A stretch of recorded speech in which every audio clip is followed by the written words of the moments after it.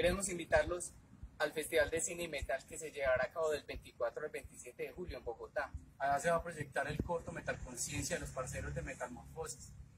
El 25 de julio a las 2 de la tarde, la presentación en la Casa Juvenil Antonio Nariño. Los esperamos.